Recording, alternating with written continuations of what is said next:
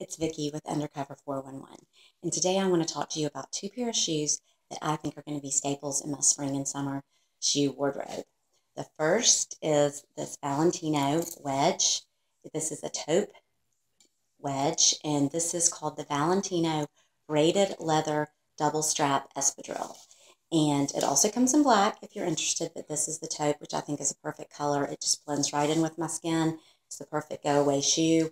I think it'll be great with shorts, pants, capris, blue jeans, skinny jeans, flared jeans, long skirts, short skirts. Um, it is $695. I did order online from Nordstrom's and it runs half a size small. So if you do choose to order, order a half size larger than you normally would.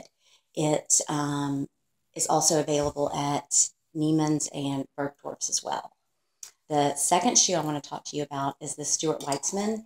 It is the Stuart Weitzman Piperline Snake Print Sandal and love it. I love the block heel. It's everywhere this spring and summer. And it is also considered taupe, although you can see it has more of a metallic shine to it. I think it's a little dressier than the Valentino. Um, I don't know that I'd wear it with shorts, but I definitely can't wait to wear it with jeans capris, and mini skirts and long skirts. I ordered this one online from Bergdorf's on 5F shoes. It's not on main floor shoes, it's on 5F. And it does run true to size, so I ordered my typical size of 8. It is $455, and I think that both of these shoes, the Stuart Weitzman and the Valentino, are two great picks for your spring and summer wardrobe. And until next time, this is Vicki with Undercover 411.